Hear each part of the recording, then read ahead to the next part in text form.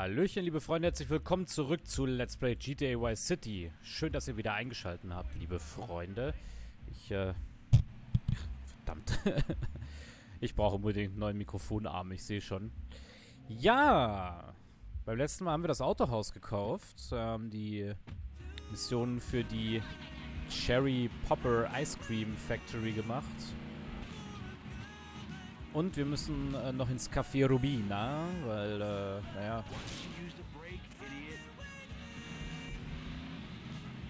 Ihr wisst ja, da hat uns jemand angerufen, der findet es irgendwie cool, dass wir seinen Kumpel umgelegt haben. Denkt, dass wir dadurch große Eier haben.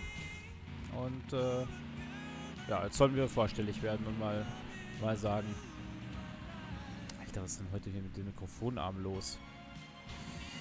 Ja, das ist meine erste Aufnahme bin jetzt gar nicht sicher. Ist das meine erste Aufnahme im neuen Jahr? Ich glaube schon. Ich fürchte ja. Jetzt willkommen im Jahr 2021. Wenn dieser Part rauskommt, ist wahrscheinlich schon längst Februar oder März.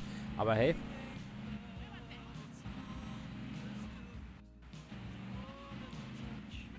Wir sparen aber weiterhin Geld, weil wir wollen uns ja auch noch die anderen Immobilien kaufen. Und äh, dafür machen wir jetzt immer so bei unseren ganzen Objekten die Kollekte hier. Oh, Okay. Oh, da liegt Geld. Ich habe ja gesagt, Geld sparen. Ganz wichtig.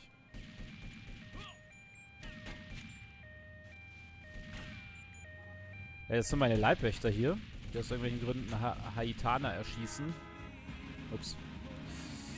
Bin immer so gewohnt, noch auf, auf Shift zu drücken, weil ich gerade sehr viel Red Dead spiele. Und äh, da, ja, da muss man ja, äh, wenn man ein Pferd beschleunigen will, sobald man drauf gesessen hat, Shift drücken. Ich war beim letzten Mal auch ein bisschen fleißig zwischen, also zwischen der Aufnahme und habe ein bisschen ähm, nochmal Autos hier collected, weil äh, ich will ja mit dem, mit dem Autohaus auch schnell durchkommen. Man kann hier äh, das relativ schnell quasi äh, steigern, das Einkommen. Also man kriegt mehrere von diesen Listen, nicht nur eine. Und Idaho, Landstalker und Blister Compact sollte ich jetzt haben. Genau, ich, das ist schon bei der Landstalker. Man kann hier übrigens in jede Garage nochmal zwei Autos reinstellen, was ich ziemlich cool finde. Also das Autohaus ist definitiv eine Investition. Wenn man sich Autos speichern möchte, lohnt die sich. so. Kriegen auch immer ein bisschen Geld.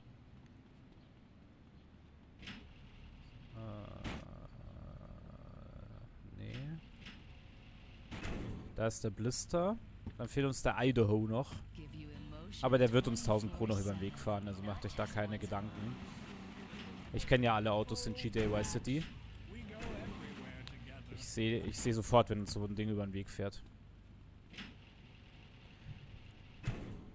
So, auf dich ist Verlass. Wenn du alle auf der Liste stehen abgeliefert hast, kriegst du einen Bonus. Ja, Idaho fehlt noch. Ist aber nicht schlimm. Ach so, schön, dass unser Sentinel äh, hier jetzt despawned ist. Finde ich ganz toll. Ah, aber hier ist ja noch einer. ist zwar ein normaler, nicht der Sentinel XS. Ja, ich habe mir wieder überlegt, so ein bisschen äh, Mix heute zu machen. Also ich würde sagen, wir machen jetzt mal diese Telefonmission. Da müssen wir auf den Flug, an den Flughafen. Da kommen dann, glaube ich, noch ein oder zwei.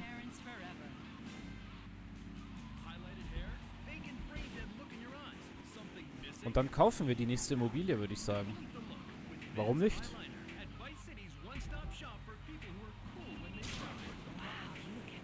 Jesus.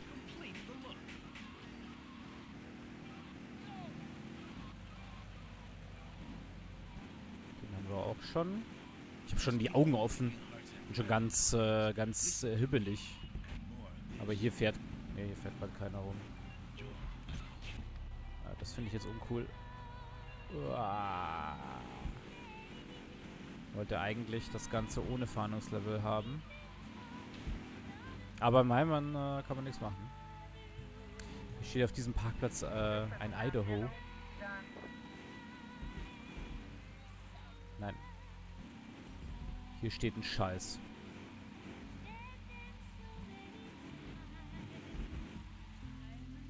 Gut, den Stern sind wir wieder los. Dann nutzen wir das gleich. Oh, Entschuldigung.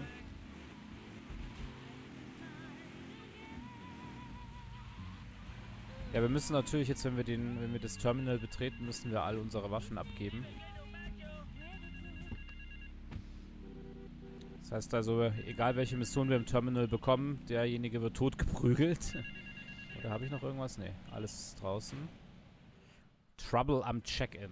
Time to fry bigger fish, Mr. Steele. There's a rifle in the foliage to your right. Watch the woman standing on the balcony above the check-in desk. She will walk through the crowd and ask someone the time. Kill that retrieve the case, and take it to the location taped under the phone. Also es wird Zeit für dickere Brocken.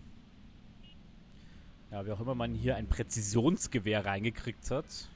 So, weil die Frau auf der Empore im Auge, sie wird die Rolltreppe hinuntergehen und mit jemandem sprechen. Schaltet die Zielperson aus, nachdem die Frau mit ihr gesprochen hat.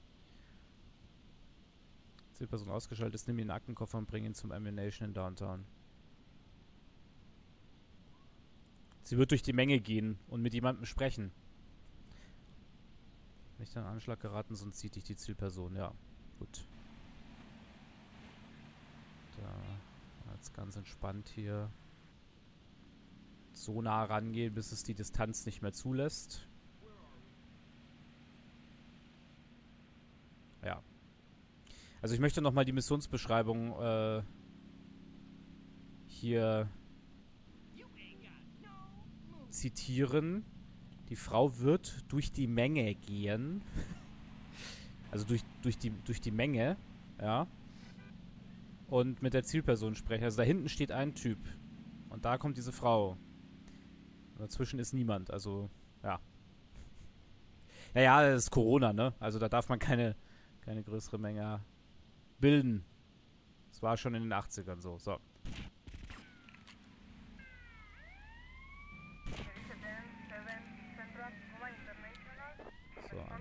Einmal. Und jetzt müssen wir hier irgendwie entkommen.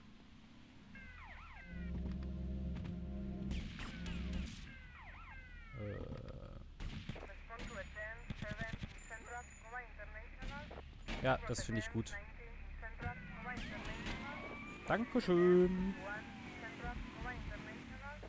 Wo müssen wir denn überhaupt hin? Ich würde mal tippen, nicht, äh, nicht in die Army Base, deswegen fahre ich mal aus diesem Rondell hier wieder raus. Oh Gott. Oh Gott. Ah, nein, bitte nicht. Oh Gott. Ich glaube, wir wurden erwartet. Jetzt müssen wir gucken, dass wir hier lebendig wieder rauskommen aus der Nummer. So, hier sind... Oh Gott. So, ich nehme das Ding hier. Liegt sie weg hier. Wir haben nur zwei Sterne, das bedeutet... Äh oh nee, das ist noch so ein types... Ja, ich versuche zum Dings zu kommen, zum Pain Spray, damit wir die Bullen zumindest schon mal los sind. Fuck. Wo ist denn der Bulle jetzt hergekommen? Wir haben kein Zeitlimit, ja, also... Jetzt warten wir erstmal, bis wir die Sterne los sind.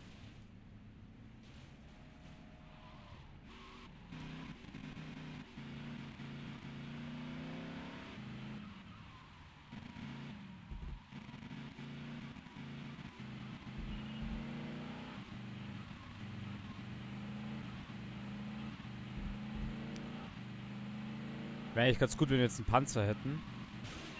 Ja, danke für gar nichts, Arschloch. So, Cops sind wir los. Also alles gut.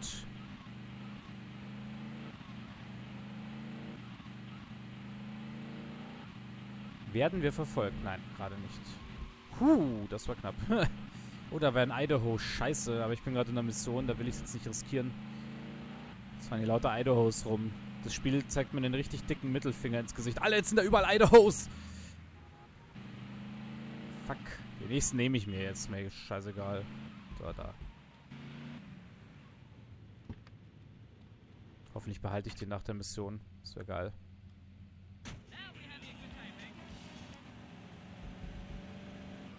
So. Ja, wir können mal Wave drin lassen eigentlich.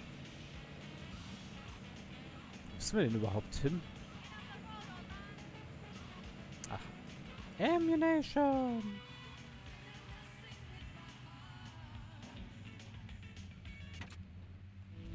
Ah, perfekt. Wir behalten das Auto. 8000 Dollar. Schön. Das hat sich rentiert, finde ich.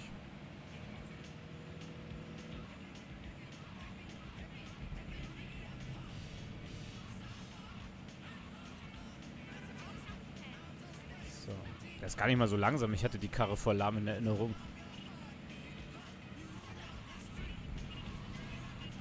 Uh. Alter, das Geräusch.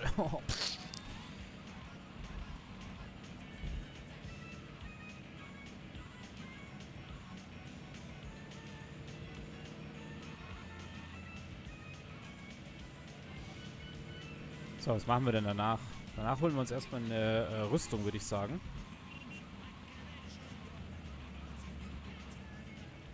Wobei ich glaube, in diesem einen äh, Café da vorne, hier in der Ecke, da müsste eine Rüstung eigentlich liegen, glaube ich. Bin mir jetzt aber nicht sicher. Nee. Ach, macht nichts. Wir fahren schnell zu Bessetti Estate. Das ist ja kein Umweg.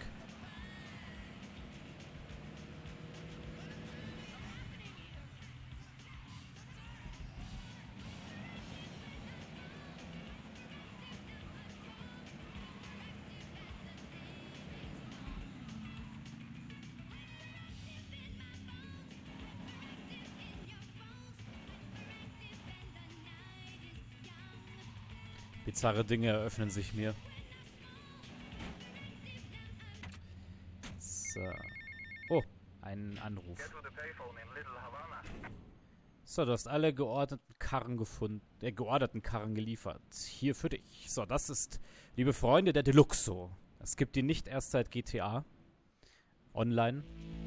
So, es gibt ihn schon in Vice City. So, Sunshine Autos generiert nun Einkünfte bis zu 1500. Hol dir das Geld regelmäßig ab. So, der, der einzige Unterschied ist nur, dass der Deluxo hier noch nicht fliegen kann. Aber naja, wir sind ja auch in den 80ern. Aber wir nehmen ihn uns gleich natürlich schon mal.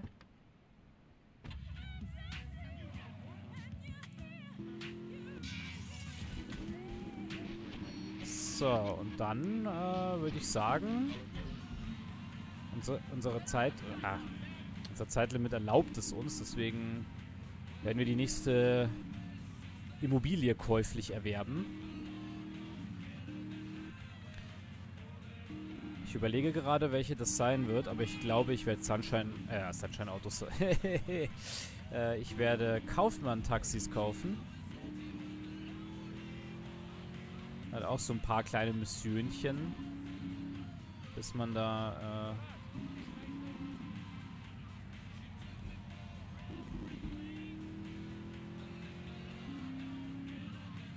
bis man da Schutzgeld draus kriegt. Jetzt keine von den, von den Immobilien, die man braucht, um das Spiel äh, abzuschließen quasi, aber ich will sie alle haben, ihr wisst ja. So, 40.000 Kaufmann-Taxis.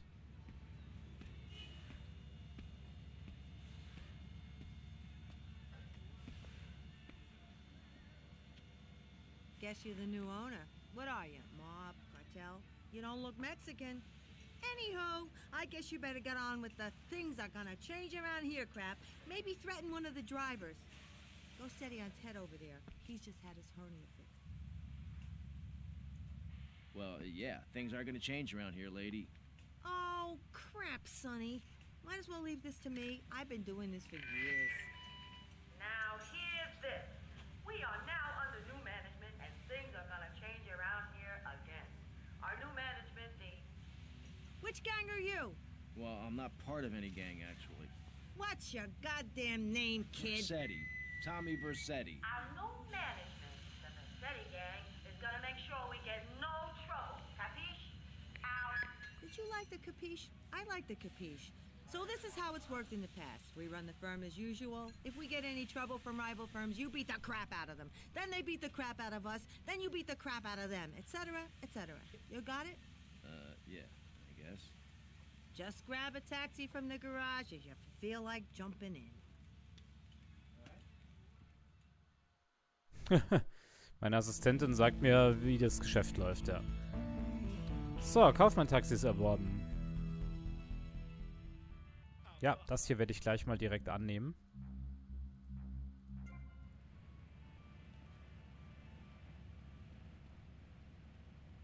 Ja, die waren zwar damals noch nicht so fully flashed out, ne, die Immobilien. So, hier kann man schon The Genetron spielen. Was ist das? Pogo the Monkey. Also ihr seht, man kann man kann zwar leider nicht damit interagieren.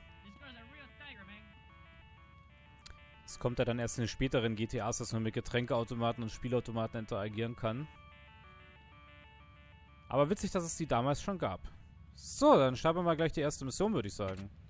Fackeln wir gar nicht lang. Okay, we got a high-class fare needs picking up from Starfish Island. Any takers? Tommy here, I'll take it. VIP, oh. Mit der lahmen Karre.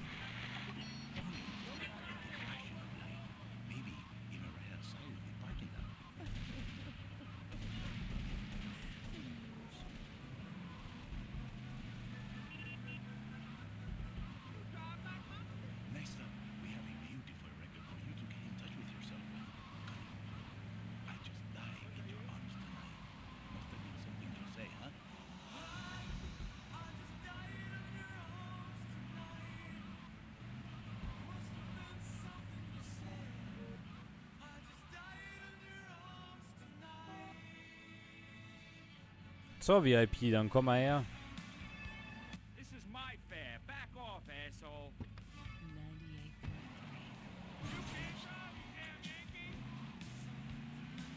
So, schalte den anderen Wagen aus, ja.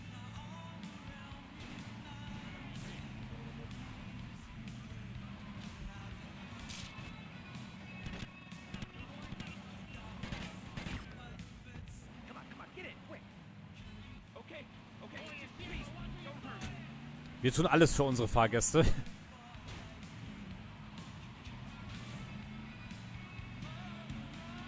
So, bringe die VIP zum Flughafen. Ja, die Konkurrenz im Taxi-Business, die ist so hart, da muss man sogar aufeinander schießen, ja. Also, aber der andere war ja echt dreist. Also der ist auf dem Gehweg gefahren und alles. Also ich finde, das ist alles ganz faires Vorgehen. Legit Business nennt sich das, ja. Dies ist Amerika. Noch hinter uns eigentlich? Nee. Schon, hat schon aufgegeben, der Boy.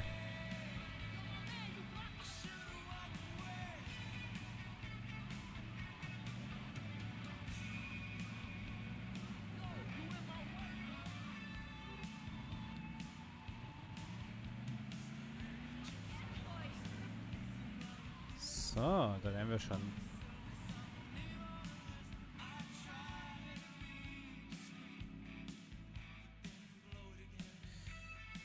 Haha, die Fuhre geht an uns. Ja, da musst du jetzt ein bisschen was blechen dafür, dass wir ihn da äh, erst beschossen haben und dann in, in unser Auto quasi rübergezerrt haben. So, jetzt würde ich sagen, einmal kurz Wesetti Estate, äh, Kohle abholen, Rüstung auffrischen und dann nächste Kaufmann-Mission. Kaufmann Cabs. Das wird nicht nur beim Taxifahren bleiben, Freunde. Es ist nicht Mafia. Wo man in den ersten Missionen nur Taxifahrten macht. Wobei ich gehört habe, dass sie es in der Remastered-Version verbessert haben. Aber hey, ähm, welches äh, Mafia besser ist, ob das Original oder das Remaster, das könnt ihr ja sogar entscheiden, liebe Freunde. Weil ich habe nämlich das originale Mafia gespielt. Ich stehe ja so für das alte Traditionelle auf diesem Kanal. ich bin auch richtig alt schon. Und, und äh, Sven hat äh, die Remastered-Version gespielt von Mafia. Und äh, schaut euch doch gerne beide mal an. So ist alles auf unserem Kanal. Und entscheidet selber, macht euch selbst ein Bild. Bin ich eh mal ein großer Fan davon, wenn, wenn ich zu den, äh, zu den Leuten sagen kann, Mensch, ich muss gar nicht die Entscheidung für dich treffen. Ich kann nur meine Meinung sagen. Mehr kann ich nicht, aber Entscheidungen musst, musst du selber treffen. So, Rüstung und ja, ja im 16, äh, M4 ist das, sorry. M4 finde ich gut. Finde ich gut. So, was sagt denn die Zeit? Die Zeit sagt. Die Zeit sagt äh, noch genug Zeit. Das bedeutet, wir nehmen uns jetzt unser nicht ganz so formidables Taxi hier. Hoppala. Jesus Christ. Ach. Schon wieder hier. Äh, so, Emotion. Emotion. Dann geht die Sonne endlich unter. So, wir machen mal wieder ein bisschen Flash rein, komm schon. Uh, wir haben noch gar nicht geguckt, was wir jetzt für neue Autos fürs Autohaus machen müssen. Aber das machen wir immer so by the way ein bisschen. Wenn wir gerade Lust haben, dann zocken wir uns ein paar Autos. Gerade auf mich geschossen, die Arschgeigen. So, Kaufmann Taxi.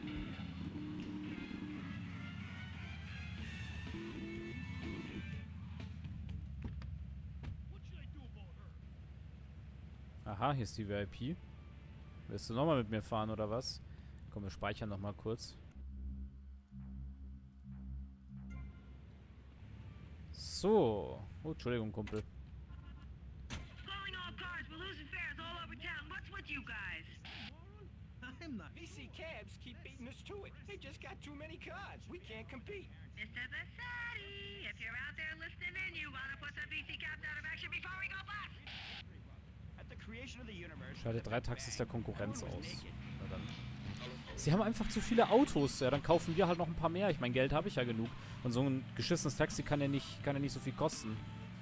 Naja, ist ja eigentlich auch egal. Wir. Es ist natürlich. Äh, es ist viel legitimer. Ähm, es ist viel legitimer, die Konkurrenz, sag ich mal.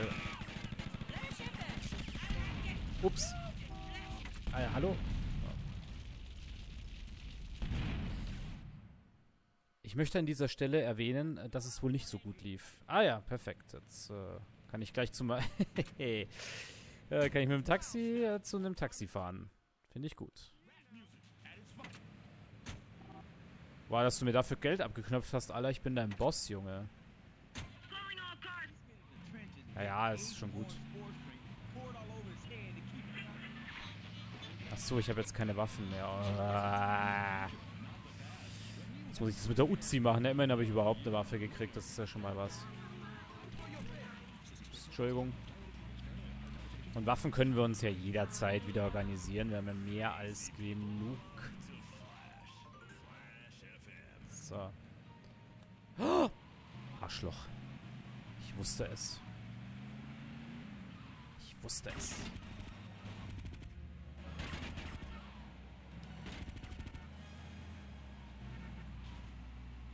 Jetzt hast du dich ja in eine nicht so gute... Willst du mich jetzt verarschen? Also geht doch. So.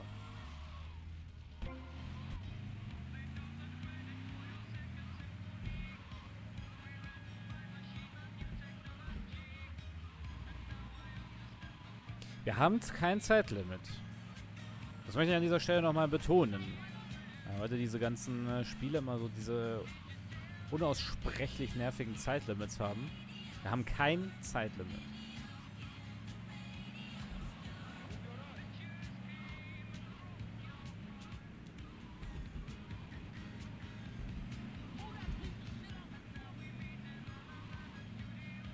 Ich wollte gerade sagen, wir können eigentlich mal die 100 Päckchen zusammen machen, aber wir haben die 100 Päckchen schon längst.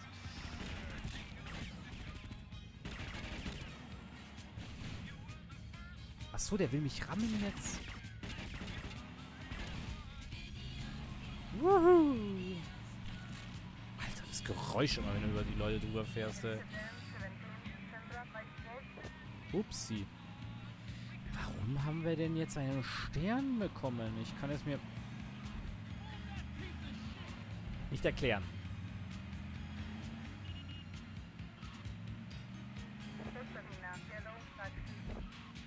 Yellow Cap. Ist ja nicht wunderschön der Sonnenaufgang. Ja, er ist nicht wunderschön, ich weiß, aber hey, das war 2004. Für 2004 sieht das verdammt nochmal gut aus.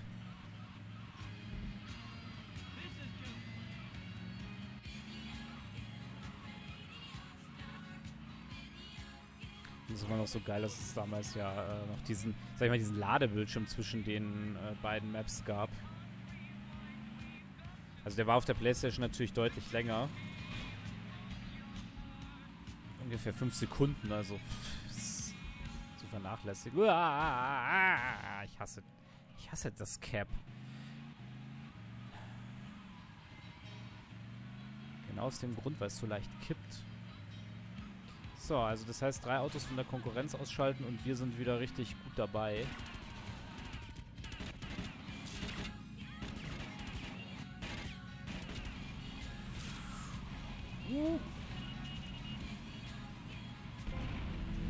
So. Hier, glaube ich, gab es sogar eine Uzi irgendwo. Ja, ich wusste es noch. Stolz auf mich. Das war ein Taxi, die spawnt, oder? Ne, das steht da sogar noch, aber nee. Ich möchte das nicht. Hier steht immer ein Banshee. Hier steht echt immer ein Banshee, Alter. Ich äh, möchte zum Abschluss der Folge noch zum Autohaus fahren.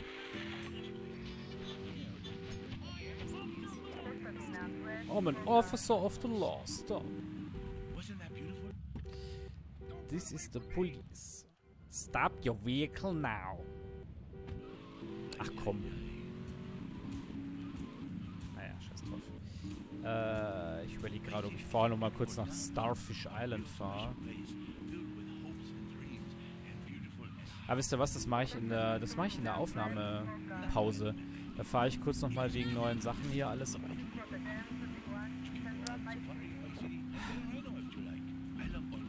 Ich dachte, das hier ist eine zusätzliche Spur. Eine Überholspur.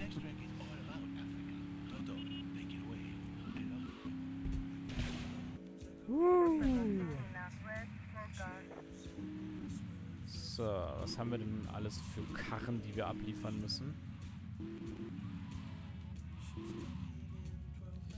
Dem Modell haben wir noch kein Interesse. Gut, ähm, was müssen wir denn alles liefern? So, Sabre, Virgio, Sentinel, Stretch. Damit ist die Stretch-Limousine gemeint. Gott sei Dank steht da immer bei der Vicetti Estate eine. Washington Admiral, ja, ich glaube, ein Teil davon kann ich tatsächlich schon zur Verfügung stellen. Hier ist zumindest schon mal der Washington. Also die wollen ganz gerne jetzt äh, Limousinen haben.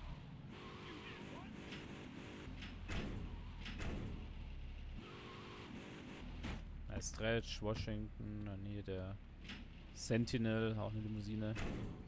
So, auf dich ist Verlass. Ja. So, da ist nichts drin. Hatte ich doch so wenig. Was hatte ich denn hier drin? Da hab ich ja, da ist doch der Sentinel. Das ist doch schon mal perfekt.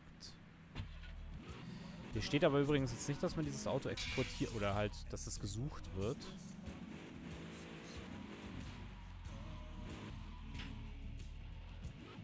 Man muss sich das alles hier merken. In GTA San Andreas haben sie es schon wieder für, für äh, einsteigerfreundlicher gemacht, indem sie äh, in, indem sie immer, indem was eingeblendet wurde, wenn man eine Karre quasi abliefern musste. Oh, in grün sieht er auch echt cool aus, der Deluxo.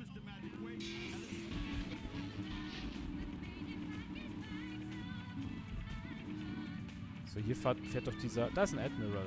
Schau. Ach, da sind gleich zwei. Ja, nehmen wir den hier.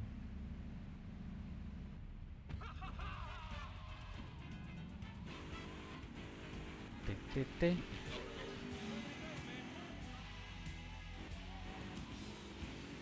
Ja, den Typen da drin, den liefern wir mit ab. Der wird dann gleich zu Hackfleisch verarbeitet. Dann haben wir da auch noch was verdient.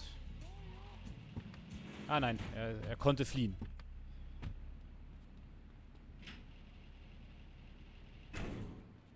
Sehr schön.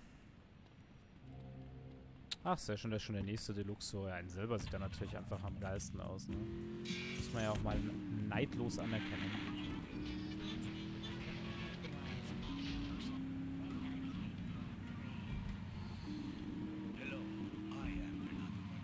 Ja, liebe Freunde, dann holen wir die Stretch noch. Und ähm, dann im nächsten Part geht's dann, würde ich mal sagen. Alter. Geht's dann an der Wessetti Estate weiter. Die paar Meter, die erspare ich euch jetzt noch. ja, und äh, ich hoffe, es hat euch wieder Spaß gemacht äh, und ihr schaltet dann beim nächsten Mal wieder ein, wenn es dann wieder heißt Let's Play GTA West City. Bis dahin, ciao, liebe Freunde, macht's gut.